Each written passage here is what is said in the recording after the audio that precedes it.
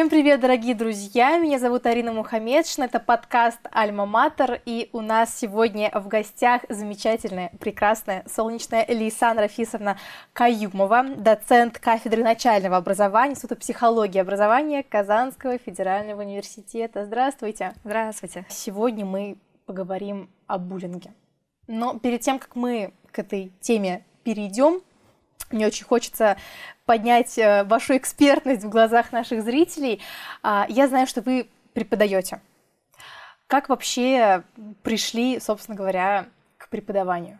А, началось все с 16 лет, когда мы с тетей, моей любимой тетей, а, решили то, что стоит, наверное, продолжить обучение в рамках колледжа, именно педагогического. Тетя была влюблена в эту систему, и ее любовь, видимо, передалась э, мне. Кроме того, у деда бабушка у нас была учителем русского языка и литературы, а, даже работала и на территории Ашхабада, то есть и союзных республик. А, и далее 16 лет поступила в колледж. А, после этого были очень долгие скитания, а, мысли относительно того, оставаться в этой профессии, либо же уйти в другую профессию. Как говорят наши как раз-таки учителя, мои наставники, теперь и я своим говорю, это что главный скилл как раз-таки педагога в том, то, что мы учимся выживать в любых условиях, в любых ситуациях. У нас вот это отработано на уровне, наверное, даже генетики. После колледжа поступила уже в университет и далее в аспирантуру. А мы с научным руководителем и с научными наставниками выбрали как раз тему подготовки учителя к рискам образовательной среды. А в рамках своего исследования мы изучали разные факторы, которые влияют на педагога, и из-за этих факторов чаще всего молодые педагоги уходят из профессии.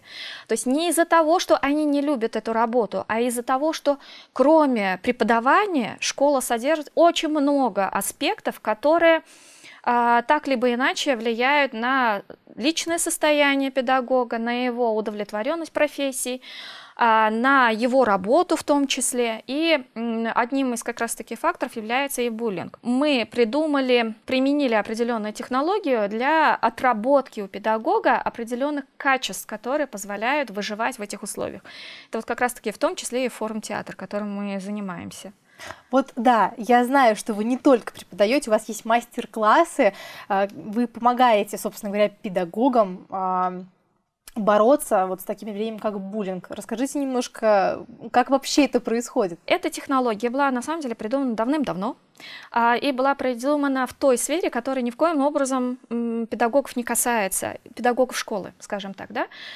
В какой-то момент преподаватели медицинского вуза в Европе выявили то, что оказывается, кроме предметной подготовки, то есть умение делать условно уколы, вправлять вывихи, э, ухаживать за больными, нужно еще что-то, чтобы позволило медсестрам общаться со своими пациентами, а именно эмпатийность. И этой эмпатийности не хватает именно, что называется, в хард условиях, таких вот жестких условиях. Что делать, если перед вами случилась нервная истерика? Ну, представляете, вы работаете в, э, в хосписе, mm. и человек только что узнал довольно-таки неутешительный диагноз диагноз, а, идет определенная эмоциональная реакция. Как на это среагировать? И как раз в этот период, период они придумали форум театр. Это технология, которая соединяет театральную часть и как раз-таки обсуждательную, что называется. Угу. А, далее эта технология развивалась, и она попала в систему, как раз-таки социальную систему, сферу в России. А я как раз когда первый раз это увидела, и сказала, хочу 16 года, то есть первого принятия кураторской группы до сегодняшнего дня мы занимаемся форум-театром как технологии подготовки педагогов к условиям риска. Даже могу сказать, это, наверное, некоторая такая эмоциональная вакцинация. То есть мы их трясем в управляемых условиях, угу. показываем всю оборотную сторону, и по нашей гипотезе, увидев эту историю э, вне рамках нашего мастер-класса, сознательно, подсознательно происходит понимание, это я видел. Угу. Здесь может быть вот так, а может быть вот так. Значит, я могу адекватно среагировать.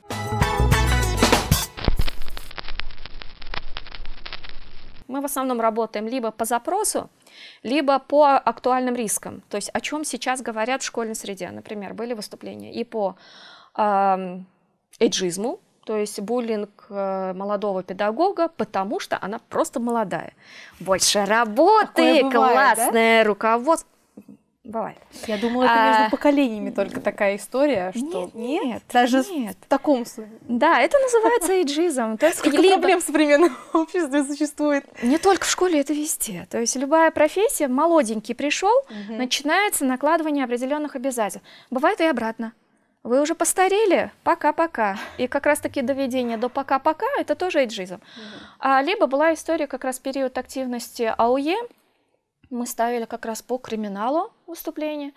А, мы ставили как раз другой ребенок. Это когда а, ребенок другой национальности появляется в нашем классе. То есть класс, он сформирован, он давно уже вместе живет, работает, что называется уже пятый либо седьмой. То есть дети друг друга mm-hmm. довольно долго знают. И сюда мы включаем другого ребенка. Каждый раз, когда мы это обсуждаем, то есть у нас вот эта театральная часть, потом обсуждательная часть, и после этого мы еще оставляем немножечко времени, чтобы педагоги подошли к нам, а, и мы с ними обсуждаем, а вы поверили в это, то, что мы сыграли? Они говорят, да, это у нас было.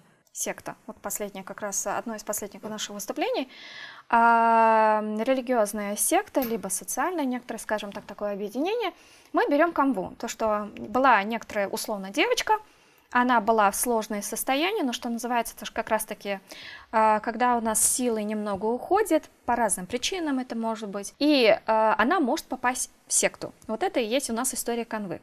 Дальше мы подбираем его, а, ее окружение этого человека, девочки, допустим, да, и исходя из своей проектной группы мы решаем.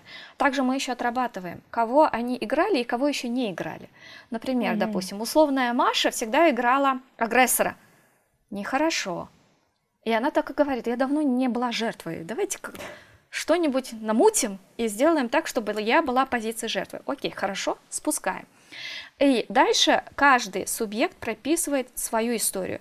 Мы не пишем э, сценарий, мы пишем свою историю. Mm-hmm. То есть почему условно Маша стала такой? Какие у нее проблемы? Угу. Какая система взаимоотношений в семье?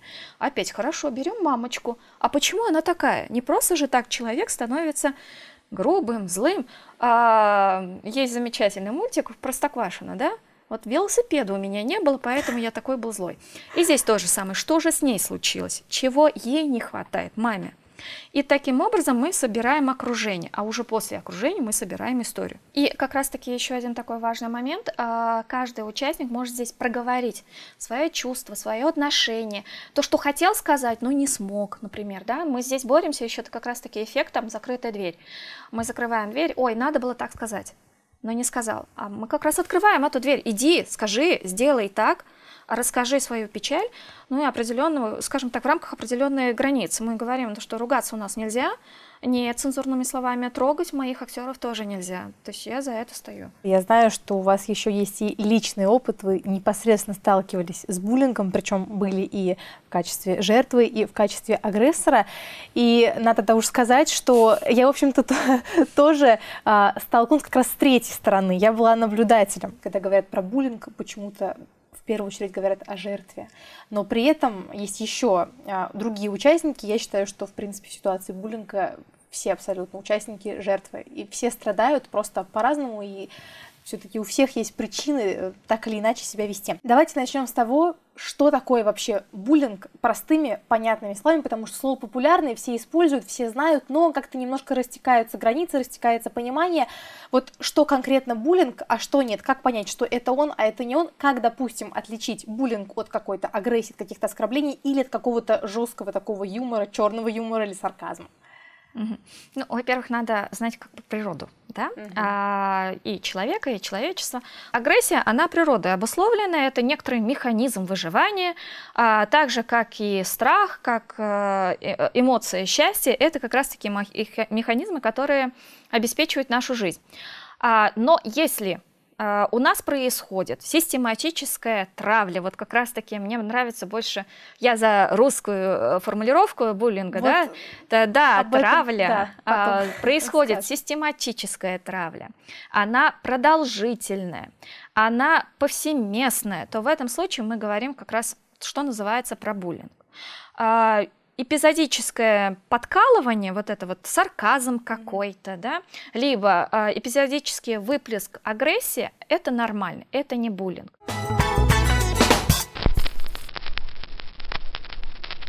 Абсолютно в этом смысле любой может стать жертвой потому что он не такой. Низкий, высокий, худой, толстый, с очками, весь, э, без... Э, случилось то, что пубертат у него раньше начался, либо наоборот позже начался, да? То есть мы говорим про фигуру, допустим, девочек и мальчиков. Это все может стать причиной. А, здесь мы не должны тихонечко отходить от понятия вот виктимности. Да? Это жертва сама виновата, то, что она стала такой, то, что на нее набросились все. Вот вы разделяете мою боль а, касаемо значит, того, что а, популярнее гораздо английское слово буллинг, хотя оно а, гораздо мягче звучит и вообще не ассоциируется с чем-либо плохим, потому что я просто по себе знаю. А, я с самим буллингом познакомилась раньше, чем с этим словом, и когда мне сказали буллинг, когда я услышала это слово, я не знала, что оно значит, но я была очень удивлена, когда я узнала, что это оказывается травля. Это издевательство. Русское слово травля, оно звучит жестче и, мне кажется, гораздо более точно передает суть вообще этого, этого явления. Это попытка эфемизма. То есть э, не украсть, а одолжить. Да. А, да, не, не травить, а булить вроде бы симпатичнее, когда мы что-то не до конца понимаем, это более мягко звучит, и можно как-то вот так вот обойти. Ну, побулили немного. Сейчас очень много интересных выражений. Вот как раз сегодня занималась, наверное, газлайтингом. Такой же один из видов. То есть здесь как раз подшучивание, сарказм и определенное, скажем так, вот как раз вот такие вот процесс по подкапывание под э, человека, да, то есть э, студенты как раз сдавали диплом.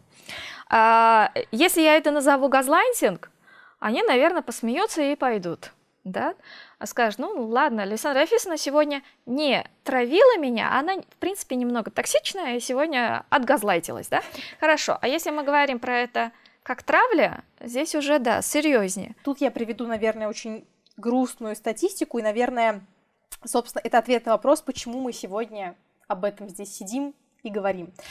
А Анна Кузнецова, будучи уполномоченной при президенте Российской Федерации по правам ребенка в сентябре 2021 года, сказала, что 55% детей в российских учебных заведениях а, подвергались травле.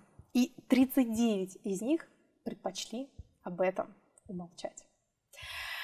И это, я считаю, основная вообще проблема буллинга, потому что об этом люди, которые с ним сталкиваются, предпочитают не говорить. И мне кажется, особенно это страшно в случае с детьми, потому что у них вообще нет никаких механизмов защиты, как правило.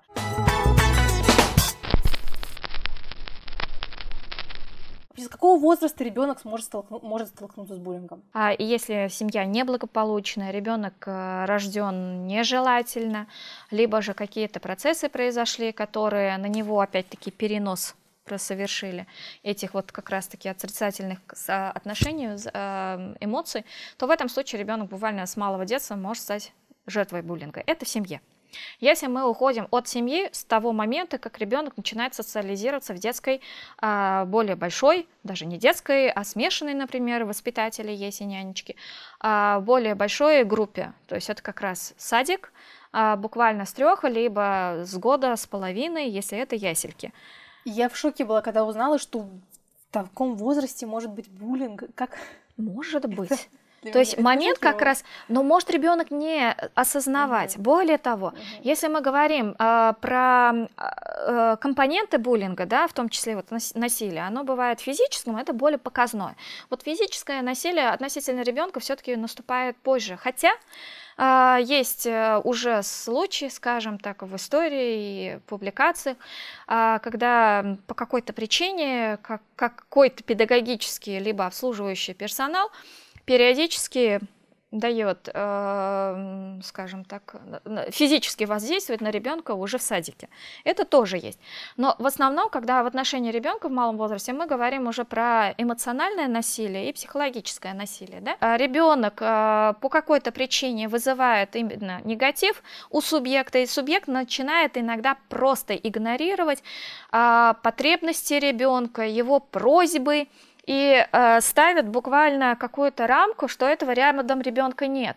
Вроде бы как, рукой не прикоснулись, не побили, э, не дай бог сексуального насилия тоже не было, но ребенок страдает. Ну, дальше переходим мы уже в начальную школу. То есть после момента осознания самого себя, три года ребенок понимает, начинает понимать то, что это ненормально.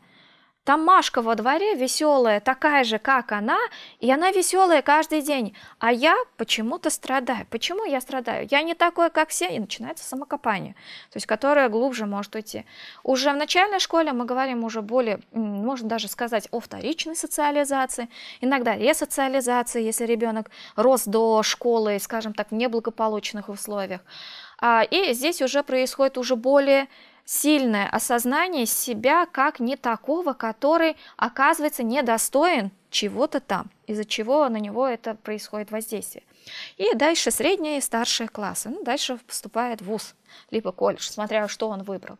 Таким образом, на любом этапе бедный человечек, маленький, он может стать жертвой. А на этапе своей сознательной жизни, э, я уже говорила, да, и работала и в школе, и в садике тоже была воспитателем, а, и сейчас в ВУЗе работаю. То есть множество было случаев, когда и попадали дети, которые...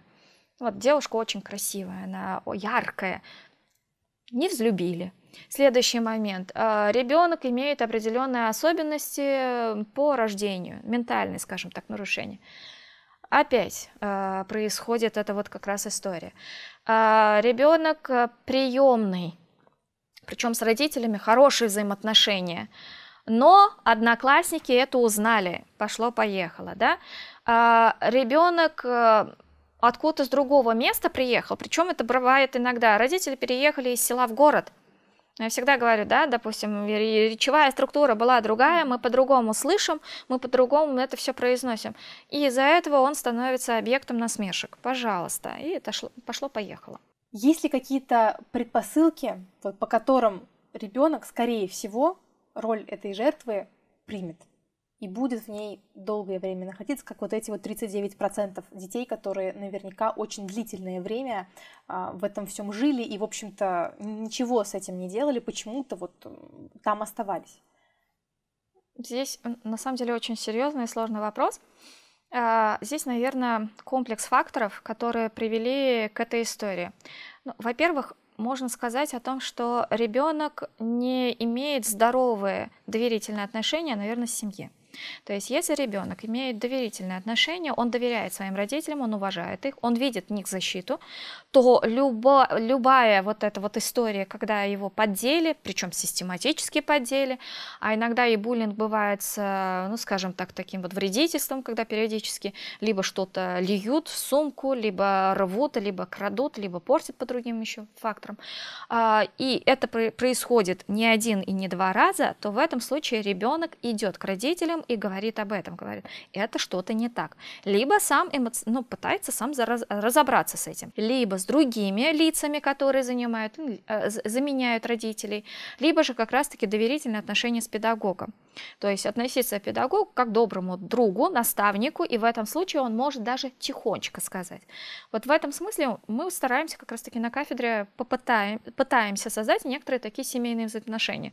У нас даже логан, да, свой э, слоган института и по мой дом. Угу. То есть, да, чтобы могли обратиться, что-то случилось, расскажи мне тихонечко на ушко, что с тобой случилось. То же самое примерно должно происходить и в семье, и в школе с наставниками, называем, да, то есть с педагогами.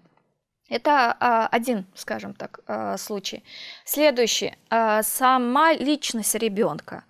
То есть, если ребенок сам от природы более инфантильный, а, причем я знала и однокла... скажем так, не одноклассников, а, ребята с одной школы а, настолько инфантильные и относятся ко всему. А, есть выражение, да, вот это вот мактуб, принятие судьбы, то они тоже не обращают, точ, точнее, обращают на это внимание, не выпускают это на общее обсуждение, и это пытаются как принять некоторые э, положение, которое послано судьбой, а, да, ёзмыш, вот, допустим, наша любимая татарская, да, а, надо потерпеть, mm-hmm. либо прекрасная православная, да, ударили в одну mm-hmm. поставь другую, вот это вот состояние принятия, наверное, даже не то, что инфантильность, а принятие излишнее, то есть нельзя, мы должны говорить об этом детям. Следующий момент, не отработка личных границ. То есть э, ребенок может научиться отстаивать свои границы, как только ему стукнуло три года. Это я, это вы, это вам нравится, но не мне. Я сам сделаю свое, это мое. То есть вот как раз одна из основных задач на самом деле детского сада это не научить первичным навыкам чтения и счета, это научить говорить, это моя игрушка, уйди, это моя каша, не дам. Это мой компот, я сам выпью. Если это отработано, причем системно отработано, в игровой форме, театрализации, во время решения каких-то учебных задач, например, мы говорим, Маша, ты хорошо рисуешь, нарисуй. А они говорят, нет, я буду рисовать. Маша должна сказать, нет, ты рисовал в тот раз, а сейчас я нарисую. Воспитательница мне сказала. А, право участвовать в выборе, кто же будет снежинкой.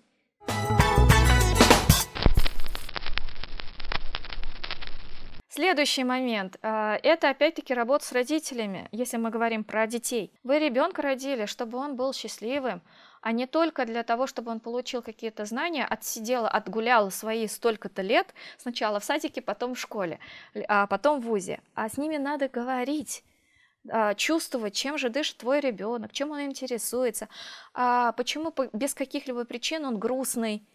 Элементарно посмотреть, а куда э, теряются постоянно его кеды – Неужели ребенок настолько рассеян, что он постоянно теряет что-либо? То есть получается, что все-таки доверительные отношения с родителями, как ни крути, это такой своего рода, наверное, ну, такой немножечко даже гарант того, что ребенок будет ну, более безопасен в этом смысле, чем, например, тот, который у которого нет таких отношений, который не придет и не расскажет. Ну, мы здесь не говорим про панацею, то, что угу. вот семья здоровая, хорошие отношения, и никогда в отношении этого ребенка ничего такого не будет. Может быть. Но даже иногда из-за этого может быть, допустим, если ребенок учится в определенных школах, где преобладают дети с из определенных семей. А, и в этом смысле иногда на ребенка из адекватной семьи нападают. Но при условиях как раз-таки здоровых отношений ребенок сразу начинает понимать, то, что это что-то ненормально. Mm-hmm. Вот ребенок э, в этом случае просто даже личностно понимает, вот здесь сарказм, вот здесь э, подшучивание, а вот это совершенно другое, это я не принимаю. И он попытается хотя бы оттуда выйти. И если у человека есть пример здоровых взаимоотношений, он понимает, где ненормальное, нездоровое. То есть есть чем сравнить. Mm-hmm. И вот как раз-таки это сравнение, оно может стать толчком, а, как бы камнем, от, а, оперевшись от которого мы можем выпрыгнуть из этой ситуации. Не, не, не совсем хорошее воспитание, которое может в дальнейшем привести к определенным последствиям. Мы говорим, а, вот тетя Аня пришла, пообнимайся с ней. Ребенок говорит, я не хочу, она большая, она, может быть, наоборот, колючая какая-то, либо от нее просто не так пахнет, либо она относительно меня что-то сказал, и я это запомнил, я не хочу с ней обниматься. А мама подталкивает, подталкивает, еще и другие говорят, надо обняться, он, а она же родственница, надо быть доб- добрыми друг к другу. Нет, ни в коем случае, ребенок не захотел, у него свое состояние, свое отношение, и он имеет право отодвинуться. Не хочу я сегодня обниматься с этой тетей. Почему? А потому что, может, у меня настроение плохое. А может, я, в принципе, не люблю, когда ко мне вот прикасаются чужие люди. Это моё, моя граница, это мое тело.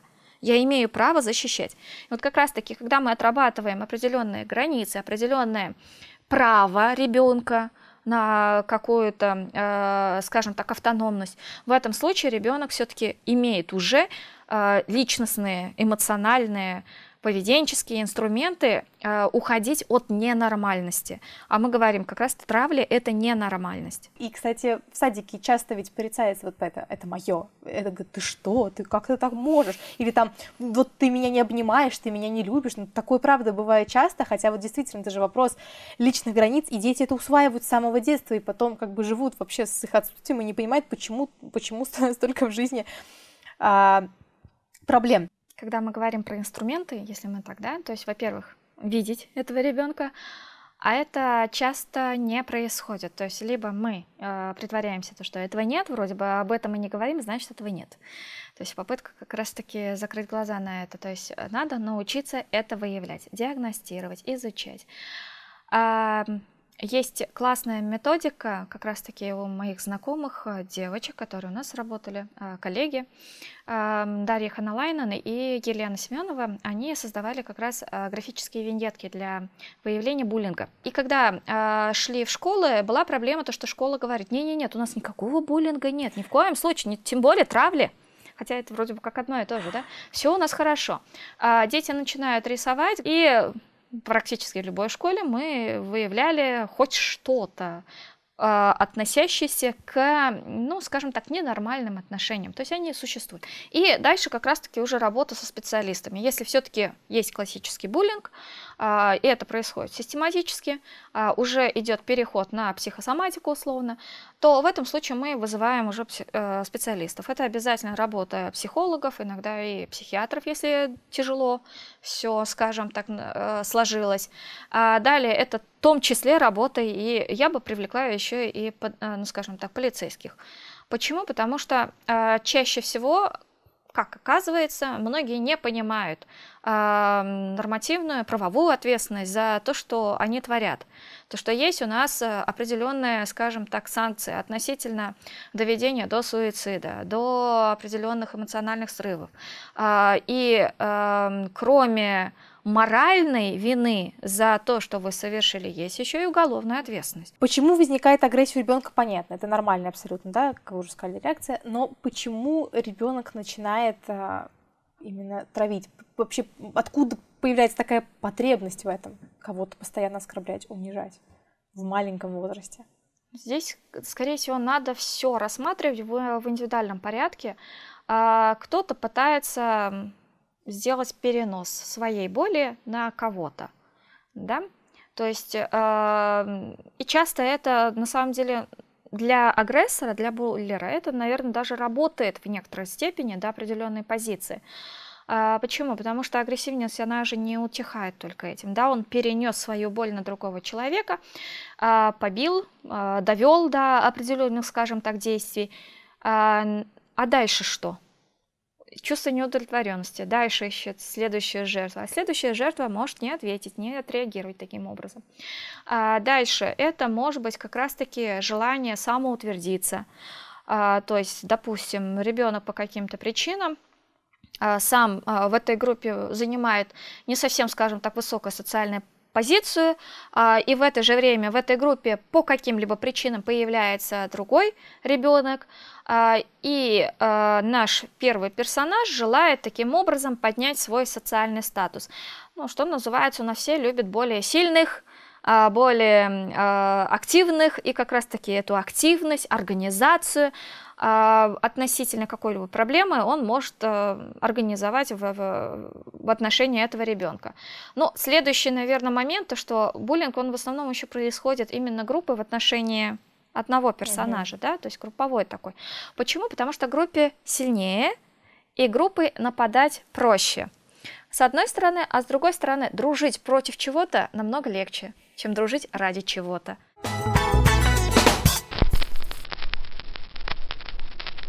Иногда под этот буллинг могут включаться и другие субъекты, совершенно изначально сюда не задействованные, да. Ну, например, там как раз э, не смогли сделать какой-то проект, находим жертву, из-за которого это произошло, и начинаем его, скажем так, воспитывать. В какой-то момент это выходит за рамки воспитания, ну, что называется, за рамки нормальности, и происходит как раз-таки массивная травля куда может подключиться и администрация, и другие учителя, которые тоже не получили какое-то благо от этого.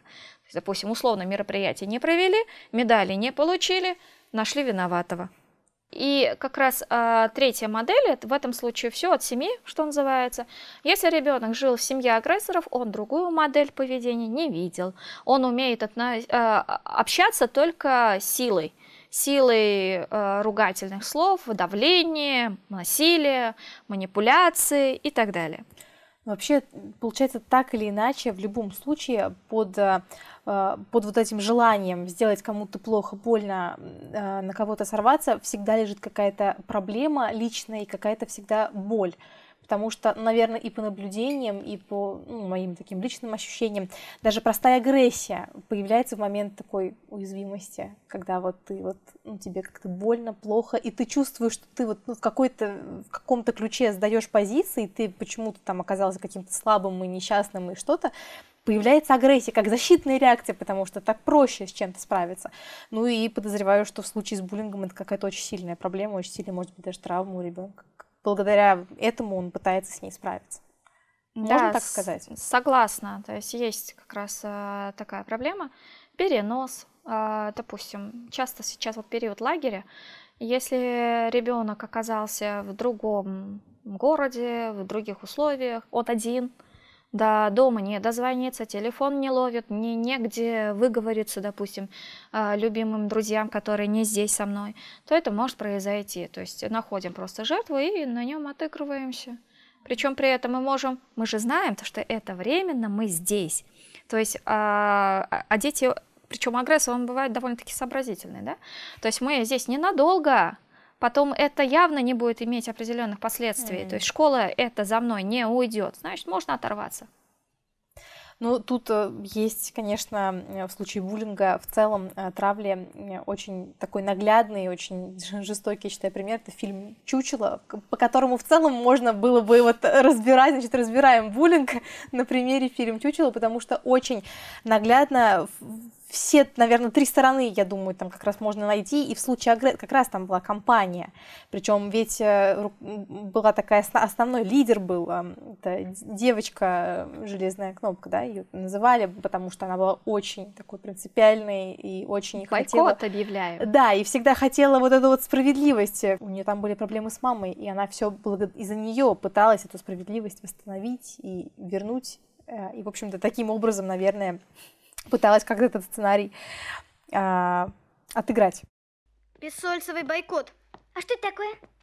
Сейчас узнаешь. Никто. Слышите, никто не должен с ней разговаривать. Пусть она почувствует наше всеобщее презрение. А тому, кто нарушит клятву, мы объявим самый жестокий бойкот. Наш пароль – бойкот предателю. Что делать, если родитель, например, или ну, замечает, в общем, у своего ребенка какую-то неконтролируемую агрессию или узнают о такой ситуации, что вот ребенок, вот, допустим, говорят ему, что очень он жесток, и вот, может быть, даже как раз ситуация прям откровенной травли, что он вот над кем-то издевается. Как ему помочь, как реагировать вообще на это? Здесь нужна уже систематическая, причем надо по посмотреть, подумать. Это у него эпизодическая ситуация, либо же он постоянно таким образом пытается эмоционально перезарядиться, да? А, как раз в лагере, когда работала, а, был ребенок, и там была довольно-таки сложная ситуация, то, что родители разводились. Родители разводились, а родители состоятельные, и у них просто физически времени не было на эмоциональное общение с данным ребенком, объяснение, почему же так произошло. И они пытались это компенсировать деньгами. Причем между собой родители были дружны, что удивительно, да, но они расходились. А что делал ребенок? Вымещал все это на окружающем э, круге друзей, товарищей, которые вот сейчас в данный период попали в лагерь. А, в том числе и на вожатых, то есть на меня это попало как на вожатую. Э, буквально мы очень долго сконфликтовали с этим ребенком, но все-таки в конце подружились, когда как раз-таки мы проговорили, а, по, по какой причине именно этот человек стал причиной, а, точнее, объектом его воздействия, что он сам чувствует, что он хотел бы изменить в этой ситуации, понимает ли он всю серьезность, опять-таки мы должны показать то, что существуют нормативные акты, правовые акты, правовое воздействие на его действия. А, и далее уже опять-таки подключаем специалистов, э, которые бы помогли хоть как-то разрядить эту обстановку. Это могут быть как раз такие медиаторы а, с психологической подготовкой обязательно. Это могут быть даже, скажем так, тренинговые некоторые занятия. Далее надо еще детям показать, то, что существует довольно-таки много возможностей выпуска агрессивной э, энергии в социально приемлемой форме. Называется это сублимация. Э, у вас все кипит, хорошо, вот тебе груша. Э, есть футбол, есть хоккей, который, можно сказать, все групповые виды спорта, они агрессивны. Они как раз направлены на выплеск эмоций. Откричись, проговорить именно на футбольном поле. И иногда после того, как натворишь, да, в процессе, скажем так, этого творения есть какая-то эмоциональная разрядка, но потом как-то не совсем хорошо. То есть э, есть определенная жалость, эмпатийность, а причиненное зло, оно же обратно возвращается. Ну и проговорив э, про и про жертвы, про агрессоров, вот такой вопрос, э, насколько здесь поможет перевод в другую школу? Да, здесь надо смотреть, а куда переводить? То есть совершенно другой микрорайон, а, либо другая страна, другой город. А, здесь определенные, скажем так, есть проблемы. И, ну что называется, да, этот ребенок ушел а, из этой школы, в которой его булили, а в другой это есть как раз-таки гарантия, то, что это не совершится. Отработаны ли модели поведения у этого ребенка, который стал жертвой? И не произойдет ли аналогичная ситуация в той старой школе, когда туда придет совершенно другой ребенок? То есть это системная работа. Только поменяв школу, мы проблему не решим поменяв город, тоже не решим. Это идет как э, цепная реакция. То есть можно даже сказать отработка кармы. Да, то есть если мы эту проблему не раскрыли, не обговорили, да. не узнали, а почему же э, ребенок периодически попадает в данные грустные истории и с той, и с другой стороны, либо он постоянно на кого-то нам нападает, либо постоянно на него нападают, э, мы, поменяв географическое положение, ничего не решим. Давайте перейдем к третьей стороне наблюдатель. Mm-hmm. А, то есть человек, ну, в нашем случае, пока мы детей обсуждаем, ребенок, который просто видит вот такую ситуацию, что кто-то над кем-то издевается, кто-то кого-то травит. Я была наблюдателем, и надо сказать, что с массой неприятных чувств я столкнулась, и для меня это до сих пор одна из таких ну, непростых историй в жизни, в моей биографии, скажем так. Ужасные были отношения в классе, и вот как раз была история, что девочку очень-очень сильно, очень жестко издевались, травили, а я только перешла в эту школу.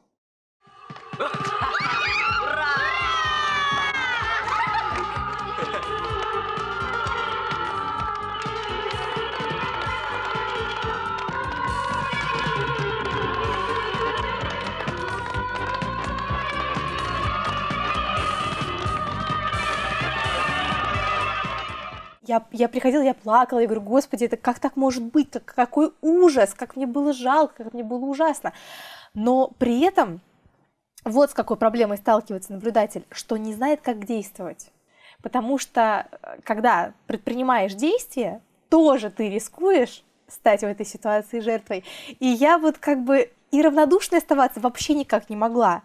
И при этом попыт... ну, то есть любые попытки оборачивались для меня, в общем-то, тоже не очень приятными историями. Ты ребенок, и ты, в общем-то, не понимаешь, как э, и бросить человека не можешь, и при этом помочь адекватно, потому что себя защищать тоже не умеешь.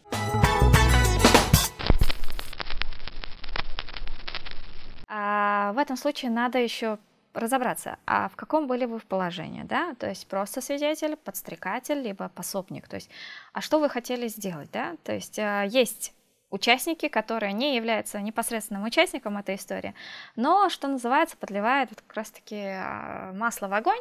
Ну, если мы возьмем вот как раз-таки чучело, да, с, то там есть э, классный руководитель, да, а, который видел, понимал то, что это происходит. Тем более человек с опытом, мы иногда начинаем буквально спиной чувствовать, что тут происходит, какие тут взаимоотношения. А что она сделала? Она уехала отдыхать как раз-таки с этого момента у нас буквально все и началось. Она не активный участник, но в то же время как раз-таки тот человек, который это а, допустил, который это видел, ощущал, но не вмешивался. Какие ее мотивы? А где Лена Бессольцева? Да вот она. Бессольцева? Да вот она. Господи, смотрю на тебя и не узнаю. А ты что же одета-то? Нельзя в школе в головном уборе.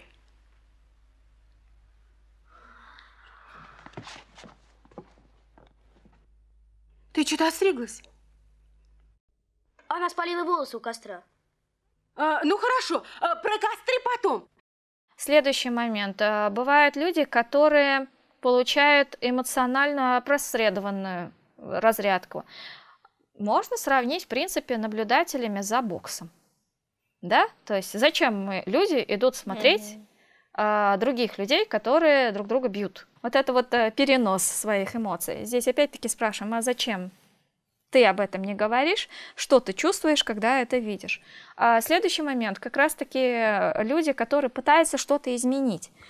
А, их активная позиция, но в этом случае я бы им порекомендовала быть более осторожными, потому что как раз ваше ощущение, если бы я вмешалась, то скорее бы там двое забуленных бы было. Это да, это правда. Лезть в эту историю стоит очень осторожно и э, более быть подготовленным, когда мы пытаемся решить эту проблему. А, ну и дальше, как мы пытаемся здесь действовать, привлекать более компетентных людей. То есть ребенок не всегда может решить те э, ситуации, те войны, которые происходят среди них. А, ну и дальше, в принципе, а, активная позиция. То есть если вы хотите добра, мира и здесь, как и у вас дома, значит, надо с этим бороться. Но осторожней. То есть как бороться? Через кого? Во-первых, прощупать. А кто ваш э, потенциальный друг? Кто также не удовлетворен со стороны взрослых, кто также не удовлетворен данной ситуацией. А как я с ними могу разговаривать? Как они соотнес, э, э, отнесутся к моей проблеме, к моему запросу? А, ну, что называется, здесь еще может быть еще опасность, да, если ты об этом говоришь, значит, либо ты сама жертва, а, либо, ну, скажем так, ну, какие-то твои интересы там тоже задействованы. А, и следующий момент, а, с которым, наверное, стоит бороться, это вот как раз-таки позиция не очень-то хорошая в отношении желающих в эту историю вмешаться, да, то есть э, ты настучал, и вот эта вот угу. позиция, ты настучал, ты проговорился, да. ты вынес ссор из избы. У нас порицается быть недовольным ненормальным состоянием. То есть это же страшно. То есть мы видим то, что ребенку плохо другому, но говорить об этом не могу, потому что это порицается. То есть вот это вот отношение – отношение как к стукачам, людям, которые пытаются а, добиться праведности, чем-то бороться, защитить кого-то, это довольно-таки опасная ситуация. То есть мы должны научить детей совершенно другой позиции. Агрессоры часто давят на это. Говорит, ты, пожалуй, ты сейчас ты настучал. Ты побежишь жаловаться сейчас да. там кому-то, расскажешь, что тебя обижают. Как будто такой немножко вызов, как будто на слабо. То есть, ты на, знаю, сейчас ты... И правда в том, что действительно это работает. То есть, ну, в случае с детьми. Они а часто вот почему оно работает? Опять-таки, да. вот как раз-таки, наверное, это вот общая наша социальная проблема российская, это что мы не умеем говорить о проблеме, и мы видим ненормальность, но как-то об этом говорить нехорошо. Ну и ладно, бывает такая ситуация, да, что ребенок не рассказывает, дети не рассказывают, но гораздо страшнее, когда э, это игнорируют взрослые. Бывает такое, что это игнорируется родителями, причем часто, к сожалению, как будто бы сознательно, потому что ну, сложно не заметить, когда на протяжении долгого времени такая ситуация, допустим, в классе, причем весь класс в этом так или иначе задействован, и администрация школы никак э, не реагирует, хотя тоже видит, знает, догадывается. А, как быть в такой ситуации, как будто бы здесь тоже, как в случае с семьей, важны доверительные отношения, и администрация как будто бы должна в этом участвовать и реагировать на такие вещи. Вот, но что делать, если такого не происходит? В этом случае мы опять-таки говорим, что главное у нас отношение доверительное, причем оно должно идти именно от администрации. Дальше определенные курсы, семинары, разговоры, может быть, нотации о том, что надо обращать на внимание. Это очень серьезно, с привлечением определенных специалистов. А, можно даже рассмотреть кейсы, которые были связаны с этой историей. А, ну, например, как раз можно даже фильм показать и обсудить, до чего это может довести. Реальных ситуаций еще больше, даже страшнее, чем фильмы да, сняты. И э, должно прийти, наконец-то, осознанность у администрации, у педагогов, у вспомогательного. Иногда баба Маня, какая, какая-то уборщица, может также доводить девочек до определенных, скажем так, ситуаций. А вахтеры тем более, да, то есть э, обучить создать осознанность, условия для развития осознанности у всего персонала и всех субъектов системы образования. Только в этом случае мы вовремя сможем это выявлять, а это будет, потому что агрессивность есть, надо эмоции куда-то выплеснуть. В эмоциональном плане мы очень невоспитаны, то есть не отработанные, мы не образованные в эмоциональном плане а, и научить правильно реагировать. То есть буквально с инстанциями, на каком этапе, кого мы можем подключать, как мы это можем отработать. Иногда до судебного, а иногда и в судебном порядке, а, и адекватно относиться к этому. Надо научиться говорить и принимать сам факт, то, что это возможно. А, как будто бы такое игнорирование происходит потому, что со стороны взрослых, скажем так, они не понимают, до чего это действительно может довести, до каких очень страшных и серьезных последствий. А со стороны детей замалчивание происходит, потому что нет уверенности, что помогут и поймут и не будут осуждать. Поэтому, наверное, самое лучшее, что мы можем сделать, это об этом говорить, говорить много, говорить э, с людьми, которые в этом разбираются, которые могут помочь, и понимать, просто признать тот факт, что так бывает, об этом нужно говорить, не нужно молчать, и с этим нужно обязательно бороться. А, очень обширная тема, очень большая, очень сложная, но нам пора заканчивать. Но я думаю, что мы много, на самом деле, полезных э, сегодня вещей сказали, а, поэтому спасибо вам большое. А спасибо вам, дорогие друзья. До свидания.